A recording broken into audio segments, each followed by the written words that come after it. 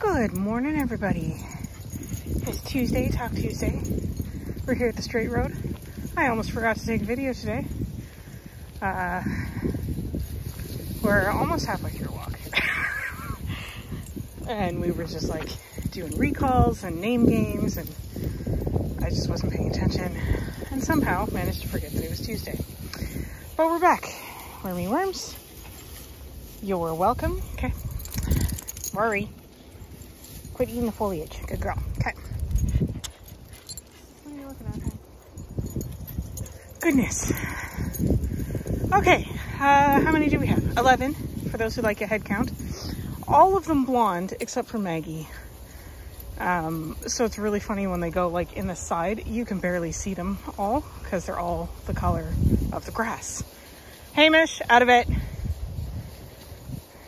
Yeah, I don't know what it is. But it's not going in your mouth.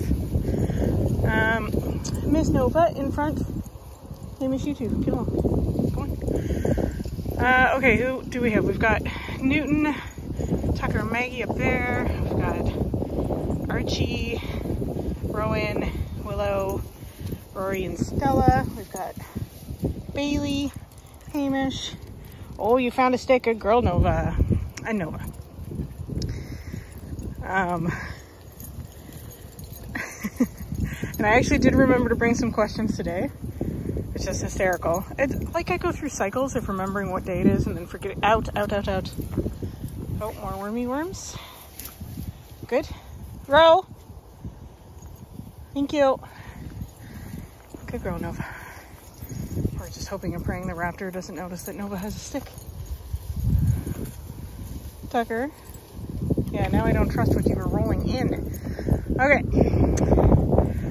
Um, a couple from the bonus content video, I don't know, last week or the week before on the Friday, we talked about like how I walk my guys off leash when we do like hikes and stuff like that. Um, and I get a lot of this question, even though I say it quite frequently. And that question is, do I take my dogs to dog parks? And the short answer is no, I do not. Um, at least in our area, dog parks are sort of like a cesspool of um, disease, right? Like it's a huge concentration of dogs in a very small area. Nova and Tucker. I don't know what it is, but you guys are too interested. Uh, Willow, it's literally a piece of grass that you just scared yourself with. Hysterical, but Bailey. Um, and also you get people there that maybe shouldn't have dogs. Um, and so their dogs are very poorly mannered. Like our first dog, well, not my first dog, but like my first adult outside of the home dog. Um, we used to take him to a place in Ottawa called Bruce Pit all the time. Um, and then within a period of a couple months, he got attacked uh, three times at the dog park and once while we were walking down the street. And I was just like, you know what, I'm done. Um, none of it was his fault. Like on the street, he was in a heel on leash with me. Two German Shepherds broke out of their backyard, ran across the sidewalk, across a street to attack him. And the owner did nothing. like literally nothing. And then in the dog park, um, it was just people that are like, oh, they'll sort themselves out. And it's like, no, I will sort it out. It's just chaos. Anyways, so I don't have really good experience with dog parks. I get a ton of clients uh, that their stories always start out with like, oh, he was such a great dog. And then we don't know what happened. Like we were at the dog park and he got attacked by another dog and now he's not a good dog park dog anymore. It's like, okay, cool. Well, I don't, I don't know what to tell you. And then of course, um, my favorite is I took my puppy to the dog park, which is just a terrible idea.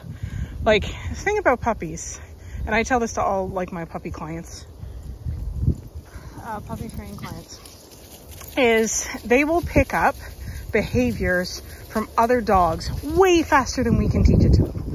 Right? So if we have like a certain vision for what we want our dog to behave like, um, and let's say they're in toddler stage, okay? So you've got a toddler, and we're gonna equate a dog park to a bar at happy hour, right? If you go during peak times, right, when there's lots and lots of other dogs, you've got a bunch of adult dogs there um, that maybe don't have great behaviors, but your puppy is going to learn that behavior from those dogs a heck of a lot quicker um, than you trying to teach them good behaviors. And it's also so much more challenging to change an established behavior as opposed to just making sure they never have that behavior in the first place when it comes to puppies anyways.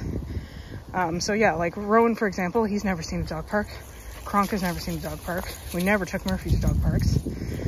Um, and sometimes, oh, maybe Murphy has had gone to dog parks very early on though, because we would try to go like off peak hours or when there weren't a lot of people. But inevitably, Stella and Bailey, Hamish, thank you. Sorry, coyote poop. I'll grab that on the way back. Tucker. He's like, I know you just said no to the dogs in front of me, or in front of you, but I'm behind you, so it's okay, right? Funny kid. Anyway, so it's basically like taking your toddler to a bar at happy hour and expecting them to come home and not start cussing, right? Like, they're going to learn that there and it's going to be hilarious to the other patrons. They're going to laugh. Baby's going to be like, oh, this is great and continue doing that. So similarly with dogs they're gonna do something. It's gonna shoot off happy chemicals and then you're kind of stuck trying to fix it.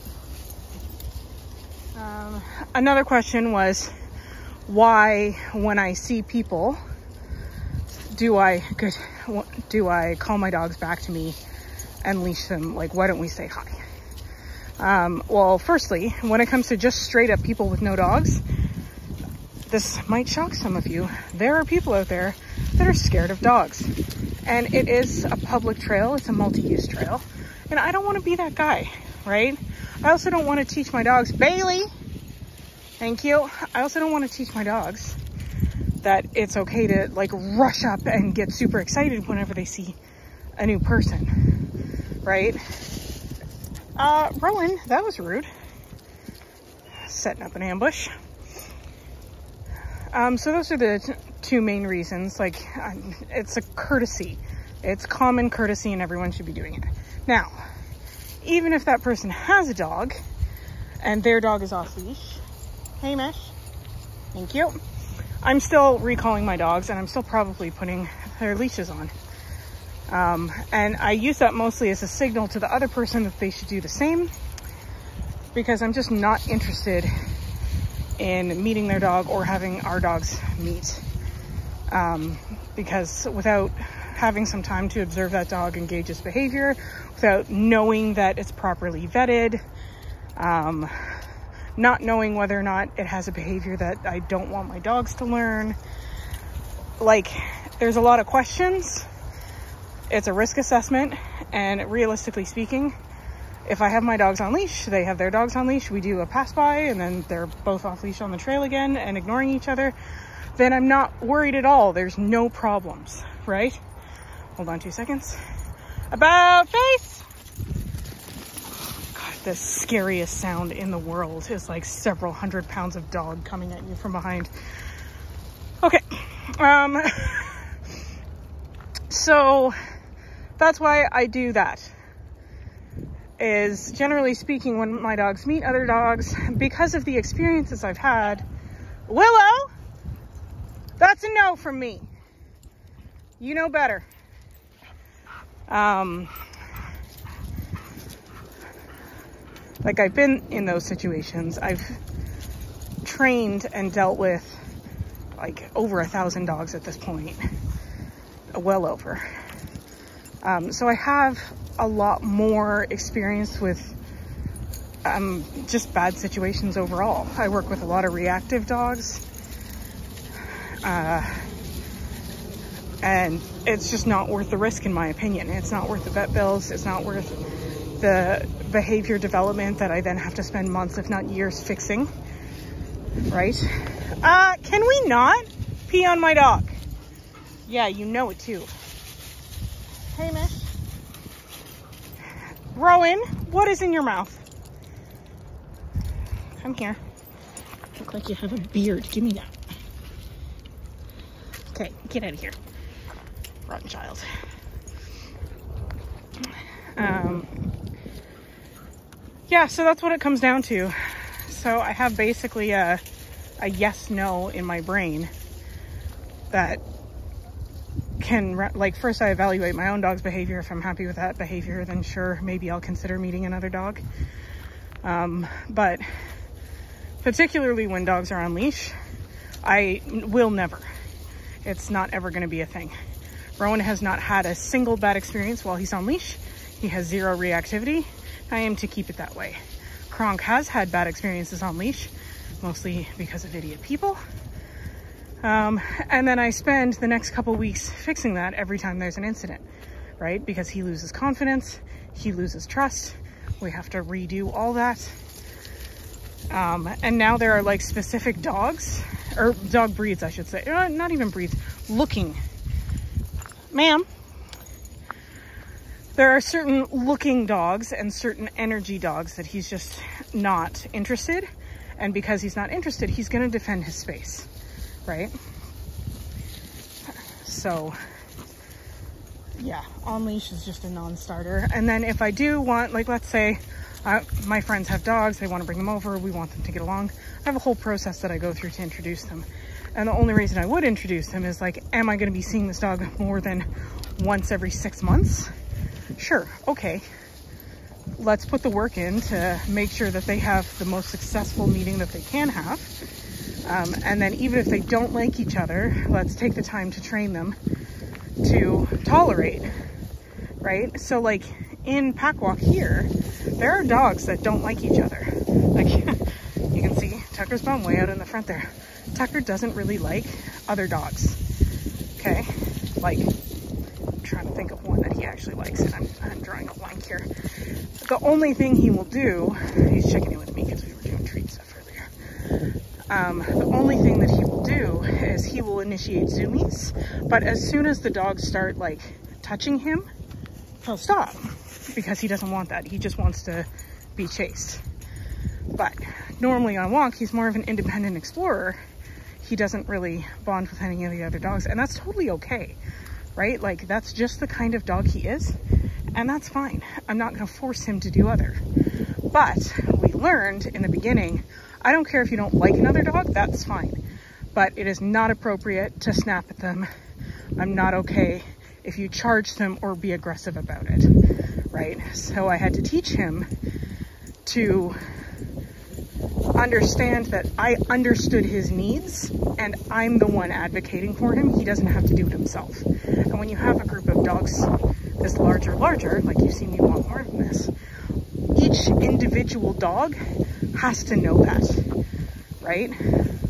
So that's why they all get along well enough. Another example would be Archie. Archie hates Bailey with like, it was an instant first sight, don't like it, don't want it near me. And again, Bailey has boundary issues. Um, she very much, she wants to be literally in everybody's mouth. So it was a comp, Bailey! Speaking of in your mouth. Yeah, I see you're stuck. Hold on. You're okay. Oh, you're well stuck. Hold on.